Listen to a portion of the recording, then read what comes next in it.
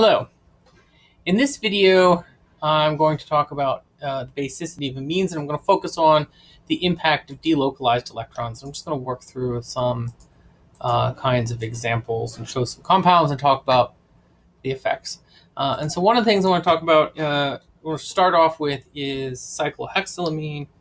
Uh, and cyclohexylamine has a pKb of oh, 3.4 3.3. And so that means that the pKa of cyclohexyl ammonium is, uh, you know, 10.7. Aniline over here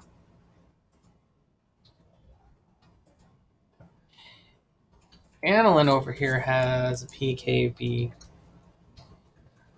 of 9.4. So this is a big difference aniline is thus much less basic than uh, cyclohexylamine. And, substi- and substituted anilines are pretty similar. They vary by a pKb unit or so. All right. So what's the big difference between aniline and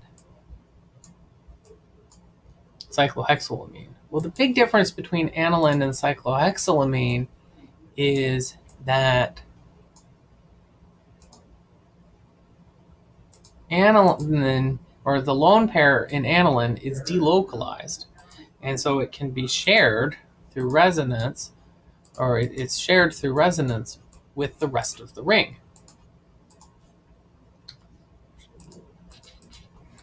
And there are a number of resonance structures, but I'm really only just going to highlight the uh, highlight just one. Right? Uh, charge and positive charge so major lesson here is that delocalized lone pairs make the amine less basic. Right? So if you're looking at an amine that has delocalized lone pairs, it's significantly less basic, uh, several pkb units. And there are other effects on this as well. Uh, you know, and so other substituents. So other substituents on aniline can change the you know pK value. So for example, you know, paramethyl aniline over here, pKb is uh sorry, it's eight point nine. So it's it's a little bit more basic, and that probably isn't surprising because the the methyl group is electron donating. Um, and then uh, and so it would destabilize the anion here. Um, it stabilized the cation a little bit. And then if we were to go to say to the other end of the spectrum to an electron withdrawing group like nitro, and the nitro group can uh, you know participate in, in the resonance situation as well. Uh, pKb of paranitroaniline is 13. Right. Uh, the, the, conjugate acid of paranitroaniline has a pKa of 1, and so it's almost a strong acid. Uh, let's talk about another class of molecules, the amidines. And I'm, I'm actually, I'm just going to use uh, uh, a single representative compound to, to, describe what's going on here. Uh, this is the structure of diaza bicyclo 1,8 diaza bicyclo 540 deck 7 Everybody remembers this compound. Uh, actually, this is DBU, diazabicycloundecane. Um, and you may have encountered DBU uh, in as a base in various organic reactions. And DBU has two nitrogens in it, and they each have a lone pair.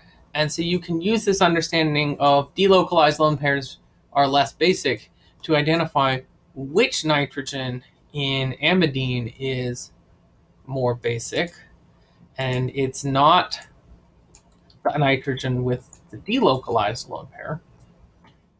It's the nitrogen with the localized lone pair. So amidine, amidines, like DBU, uh, get protonated. Move my DBU up out of the way. Get protonated at the nitrogen that looks like. And get rid of my lone pairs.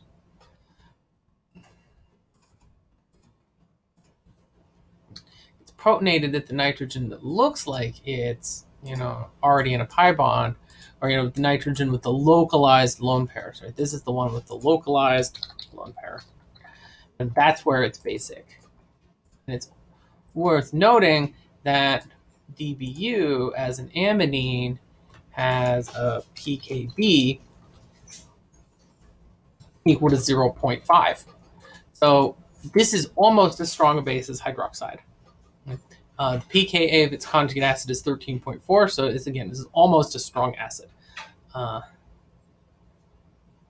no, it's almost is almost you know as as is almost as acidic as water. So this is this is almost as basic as as hydroxide. It's a pretty strong base. And other amidines that, that are, you might see are, are similar. Um, similarly, um, okay, let's guanidine. And then I want to talk just a little bit about this guy, guanidine. Guanidine is a molecule that looks like this. And if you're looking at it, you might think, "Oh, is that a real thing?" Yeah, actually, it's a real thing, and it's the the side chain. Uh, it's the side at the end of the side chain on arginine, so it's not, not even naturally occurring. And well, guanidine is basic here because these are the localized lone pairs, and guanidine's conjugate acid is worth drawing because the, the sort of most important resonance structure actually looks like this. Three NH2s, all with their lone pairs, all you know, around a carbocation in the center. And the pKb of guanidine is 0.4, and, and again is essentially, and the cation is almost the, one of the weakest acids that's out there that's still stronger than water. Uh, so again, really a pretty, pretty strong base here. And is recognized as one of the strongest neutrally charged bases out there. Now, now we're going to get to one of my favorite compounds, uh, proton sponge. Yeah, proton sponge is one, one eight diamino naphthalene. And uh, proton sponge picks up a proton at one of its amines, and it, and it does something really cool.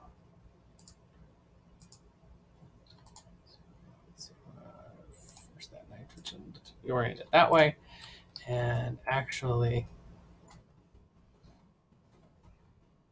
This hydro, this extra proton that is picked up, and is can be shared between the two nitrogens through hydrogen bonding.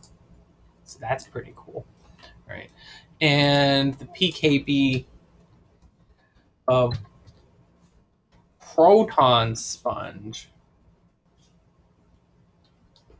is two. Right, so it's it's not as basic, say, as guanidine or uh, or, or DBU, but it's still pretty basic in comparison uh, to the other aniline-like compounds. So even though this is resonance stabilized, or even though these are delocalized lone pairs, the proton itself can be shared between two nitrogens. In the next video, we're going to look at uh, the basicity of heterocyclic amines. These are aromatic compounds where the nitrogen is in the ring. Right? Thank you for watching.